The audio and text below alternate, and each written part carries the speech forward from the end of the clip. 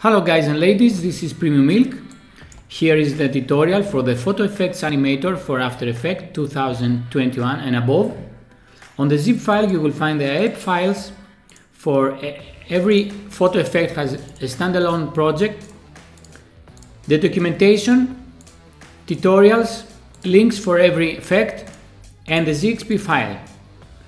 So here on the documentation you will see how to install the ZXP file on your system, you have to go to After Effects Scripts ZXP installer or zxpinstaller.com and download the ZXP, the ZXP installer. After that, you have to go to open ZXP installer. Let's quit and open to see how it works and just drag and drop the ZXP file directly to this uh, window to install the ZXP installer for After Effects. After that, when the installer finish, you will open After Effects and see how we will do it.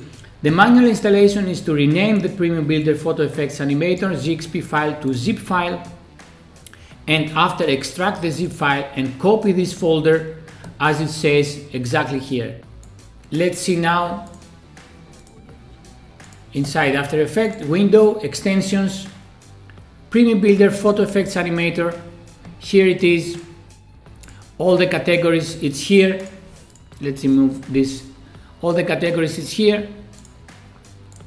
You can see them. And just double click to any of them. Here we have the home button the favorites button. If you want something to add to favorite like um, this way if you like some you add them to favorites and then you have them here. Okay and just double click to bring it to your system.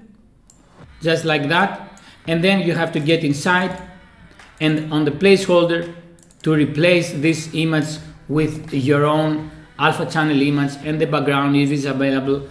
All this for every category you will find the tutorials here as you can see just double click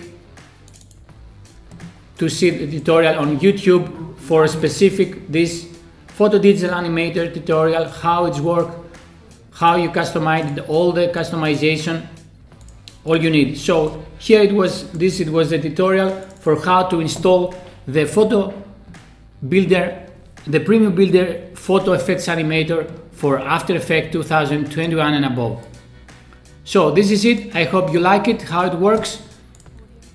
Try all these categories, it's amazing. You can just double click and import to your system and then customize it. So thank you very much. I hope you like it. Don't forget to rate. Bye bye.